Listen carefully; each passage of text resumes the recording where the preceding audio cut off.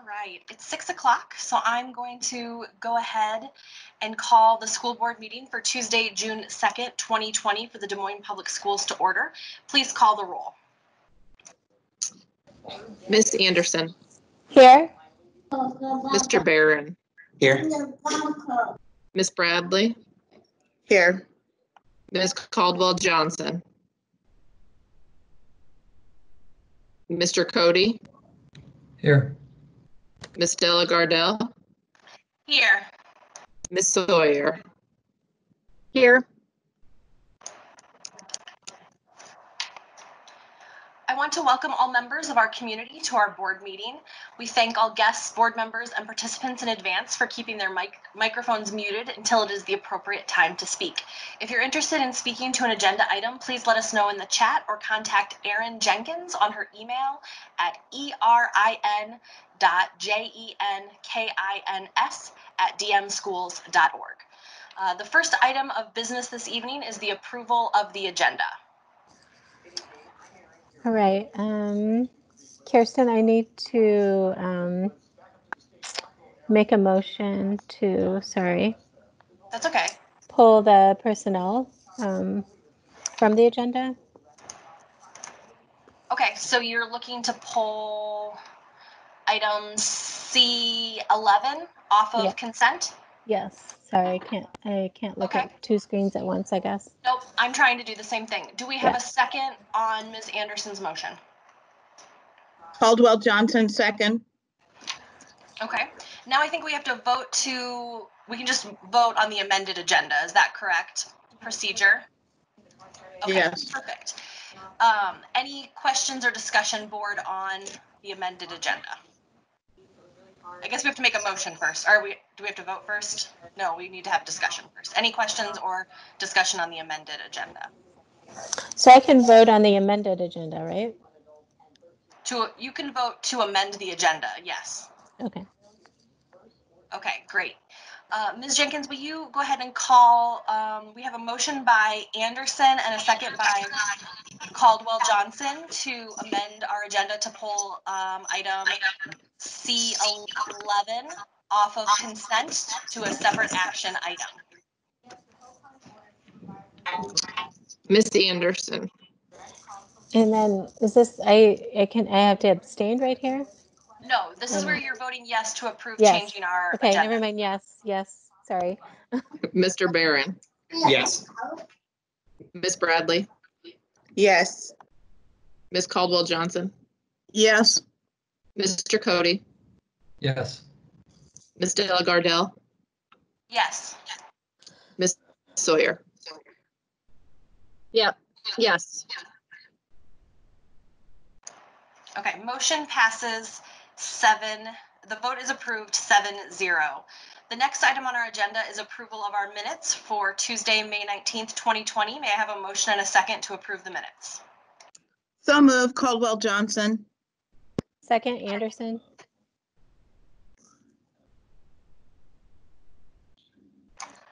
We have a motion by Caldwell Johnson and a second by Anderson. Please vote. Miss Anderson, Yes. Mr. Barron, Yes. Miss Bradley, Yes. Miss Caldwell Johnson, Yes. Mr. Cody, Yes. Miss Delagardelle, Yes. Ms. Sawyer. Yes. Okay, and I do not believe we have any district recognitions this evening. Is that correct, Dr. Ahart? All That right, is well- correct. Okay, we'll go ahead and move on to consent items. The next item on the agenda is our consent items. We allow any person the opportunity to speak to the board for up to five minutes following the presentation of an agenda item. If anyone wishes to speak to an agenda item, please go to the information desk to sign up. And by information desk, please use um, the chat or you can email Erin Jenkins. Uh, Remarks must be germane to the agenda, and we ask that you avoid reference to personalities and character attacks, as those types of comments serve no productive purpose. We appreciate your input. As a reminder to the board and public, the board will not engage in discussion or deliberation with a speaker regarding comments made to agenda items. Discussion and deliberation will remain among board members at the board table, with speakers' comments informing said discussion, deliberation, and determinations as deemed necessary. Mr. Barron, I believe you have the consent motion. Thanks, I do. I move that the board approve the consent items in accordance with the recommended action for each item on the consent agenda, including bills previously authorized, certified, and approved for payment by the board secretary in the amount of four million, seven hundred sixty-three thousand, nine hundred four dollars and ten cents. Caldwell Johnson, second. Thank you. We have a motion by Barron and a second by, um, by Caldwell Johnson. Any discussion or questions? I don't believe we have any speakers signed up. Is that correct, Ms. Jenkins? That is correct. Okay, so any questions or discussion by board members? All right, please call the vote. Miss Anderson, Yes, Mr. Barron, Yes. Miss Bradley, Yes. Miss Caldwell Johnson, Yes. Mr. Cody, Yes. Miss Delagardelle, Yes, and Miss Sawyer. Yes. okay, the consent items are approved seven zero. Um, I believe we have one other item of business in this part of the agenda that I will take a motion for on item C eleven.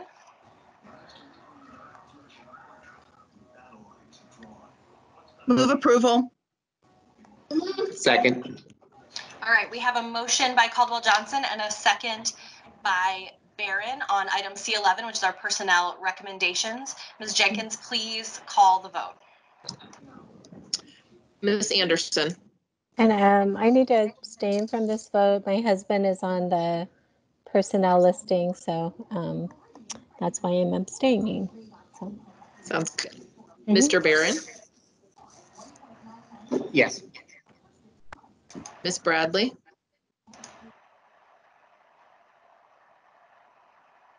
Miss Bradley, Yes. Miss Caldwell Johnson, Yes. Mr. Cody, Yes. Miss Delagardelle, Yes, and Mr. Sawyer, or Miss Sawyer, sorry. Yes. all right, item C11 passes s- 601.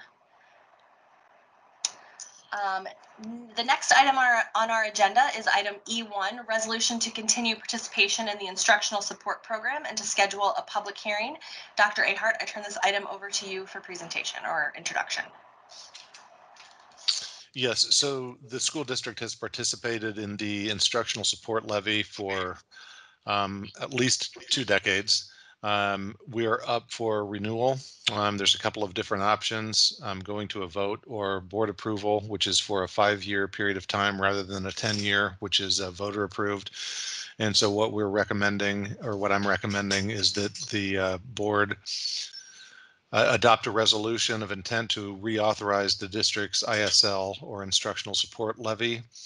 Um, This resolution would set a date for a public hearing of- on the board's intention to adopt the renewal of the ISL or instructional support levy for a five-year period from July 1 of 2021 to June 30, 2026. This would not have any impact on our tax levy rate.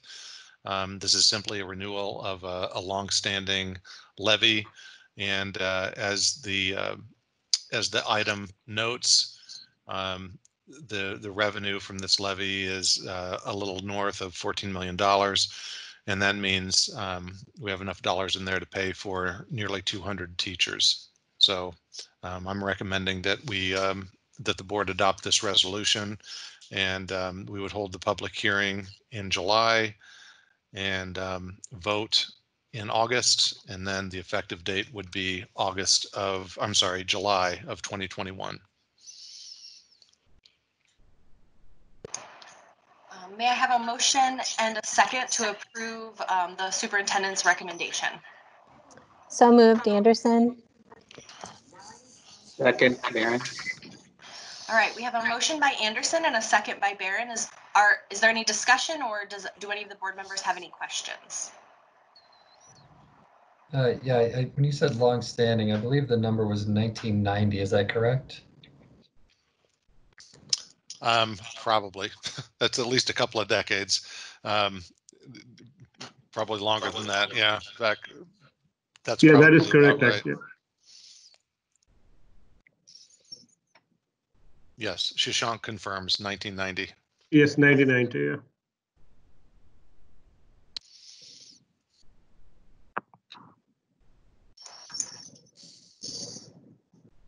There's no further discussion or questions, um, Ms. Jenkins, will you please call the vote?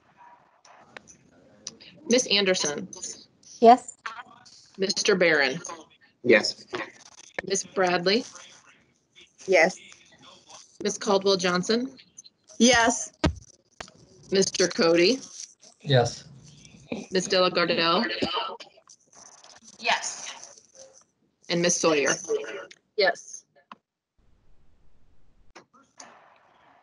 Okay, the vote is approved seven zero. Um, we do not have any information only items, which brings us to um, items of privilege. Um, I just have a very, I just have a short statement that I would like to share and read at this time. Black Lives Matter. To our community out protesting, marching, rallying, gathering, or otherwise witnessing in whatever capacity fits you best. I see you, I hear you, we see you, and we hear you. To our students, we especially see you, we hear you. Thank you for speaking up, for using your voices, for using your bodies to stand against injustice. I also want to let you know that we're here for you. I know now is the time for shouting, for making your voices heard, but when you're ready for it, we're here to listen to you. When you're ready for next steps and have ideas on how to make your schools a better place, we're here. If you need help getting in touch with city council members or the mayor or county supervisors or other elected officials, we're here for you. Your teachers are here for you. DMPS is proud of you. To our community, if you're interested in getting involved in your schools, we're here. Check out our school board page on the Des Moines Schools.org website for more information about our community legislative action team and our academic SMART goals. Black Lives Matter, and we see you and we hear you. Thank you.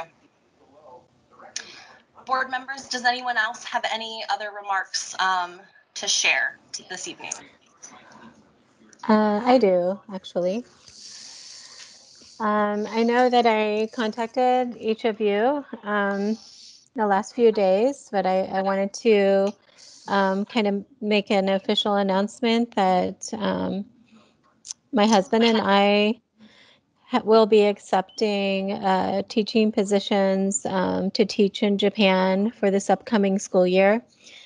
So that means that um, obviously I won't be able to be on the school board and teach in Japan um, unless you would allow that uh, virtual Zoom, you know, team meetings from Japan. But I think the time the difference wouldn't probably allow for that. Um, and so it will be um, effective July 31st. Um, I wanted to give you enough time to um, appoint a new board member and make sure the public had uh, enough notice. Um, you know, if they were were if they were interested in um, applying or learning about the process, I guess. Um, I'll say a little bit more later on before I leave, but um, just wanted you to be able to move forward and didn't really plan on doing this, obviously. Um, uh, it was an opportunity that um, was presented and it don't I didn't feel like we had the luxury of of, of waiting um, due to our to our age. Actually, finding out um, in Japan or teaching overseas, they they like teachers that are um, under the age of 55. So apparently, I'm in my 50s. I, I tend to forget about that. Um, but uh, that's my news, and um, and I'll, I'll still be around until, you know, the end of July and August too, potentially. Don't know. Can't actually fly there right now, so hoping that that changes. Um, that's it. Could go on and on.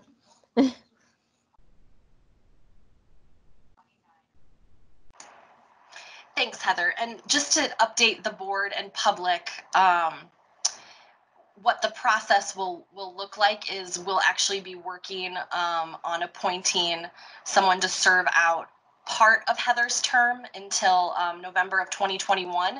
And at that point, which is our next regularly scheduled school board election, um, there will be a a special election to serve out the remainder of that of that term at that point, which will be a two-year term from 21 to 23. So um, board will be talking more about that um, here here in the next you know week or so. I'll be getting in touch with each of you about having a work session to discuss how we'd like to proceed um, with our process. So um, does anyone else have any other comments that they would be that they would like to share at this time? Uh, Kyrstin, I have a few comments if I could take some time. Thank you. Um, first, I want to congratulate all the seniors on graduating. I know this certainly was not how we were hoping to end our time with you, but it certainly doesn't take away from your tremendous accomplishments. Um, and I wish you all well in your future and whatever path you may follow.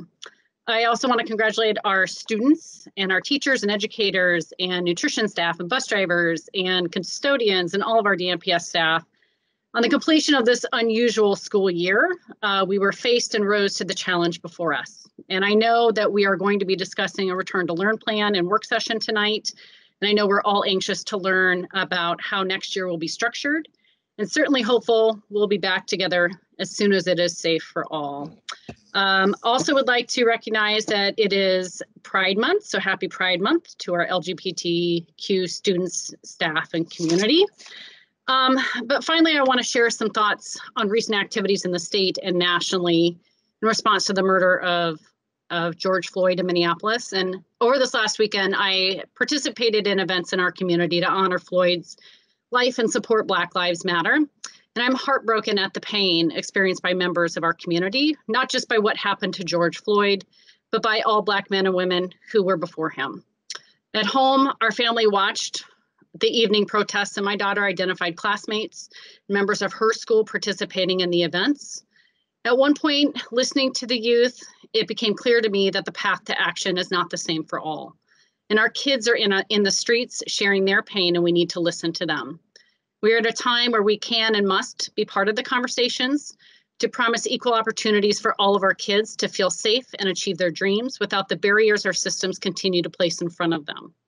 I'm not recommend or presenting a specific ask to my board colleagues, but rather raising awareness that we have a responsibility to guarantee our kids have access to quality education so they thrive, that we have a responsibility to promise our kids a supportive and nurturing learning environment so they are encouraged to achieve their maximum potential. We have a responsibility to support each child's learning and growth and not allow an environment to contribute to the school to prison pipeline, as evident by our management limitation policy relating to the treatment of our students. We have a responsibility to be a part of the solution so our kids can achieve their dreams. I, as a white woman in this community and on this board, am committed to doing my own listening and learning to become a better ally. Thank you. Thank you, Kelly. I had another piece of, of my remarks that I had in a different spot that I, I just want to share with you. Um, today is the 2nd of June, and so this is the month where we observe Juneteenth, and Juneteenth marks the anniversary of June 19th, 1865, which is the date when Union troops uh, finally arrived in Texas to announce that, announce that those enslaved were now free. We're honored that one of our um, board colleagues on the school board, Dwana Bradley, is the organizer of the Iowa Juneteenth observances. And this year's observance falls at a critical point in time. So as people um, here at home and across the country protest uh, systemic racism in our society. Juneteenth is a reminder of the long and tragic history of the enslaved, the original sin of our nation, and those um, and whose impact continues to this day.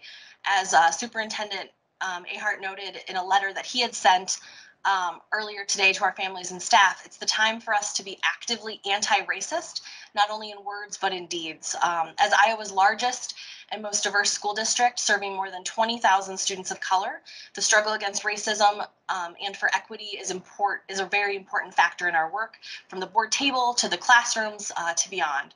And DMPS has been proud to be part of past Juneteenth observances and looks forward to continue to continuing to participate. This is just one small way that we can remember the long trail that has led to many of us joining um, joining with our community members, with our neighbors, um, with our brothers and sisters on the streets today.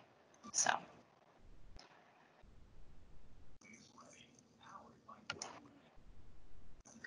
Um, Kyrstin, I just want to say thank you to the board um, and to you, Dr. Ahart, for recognizing Juneteenth. It definitely is something that is more important now than ever.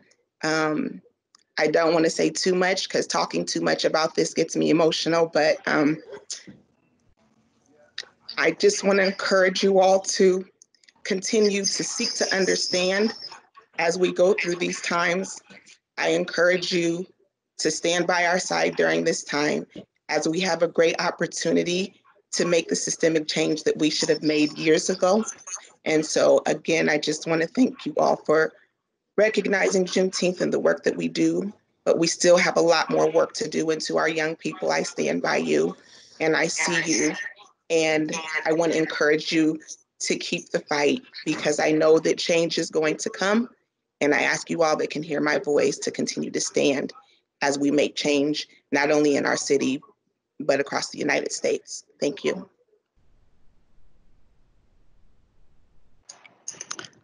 Madam Chair, I do have a brief statement I would like to read as well. Thank you, Teree. Absolutely. Um, while the song lyrics tell us that it takes 525,600 minutes to quantify the value of a human life, just one week ago yesterday, it took eight minutes and 46 seconds for former Minneapolis police officer Derek Chauvin to take the life of George Floyd. While it takes 525,600 minutes to measure years and miles, it took only eight minutes and 46 seconds to bring a city to its knees, stop a country in its tracks, and challenge the racial conscience of a nation. Knowing how to respond, and more importantly, how to use your voice and influence in the midst of chaos and uncertainty is where we all find ourselves today. But no matter your background, your race, or socioeconomic status, the questions linger, and where to from here is the challenge of the day. So today, my message is simple use your eight minutes and 46 seconds for good. Be the change, stand in the gap, and do something so that the next 5,000, 25,000, 525,600 minutes will be the difference for us all. Thank you. Thank you, Teree. Board members, with no further comments from us, I'll go ahead and turn it over to Dr. Ahart for his report. Thank you, Kyrstin. Um, I issued a statement earlier today, um, which I, I won't repeat here, um, but I, I do want to emphasize that in that statement, I did encourage um, our community to um, weigh in with me, and the, the email address is right there, and several people have already, um, to help me understand where we're not hitting the mark in the cause of racial justice in our community and in our country. Um, this has been a, a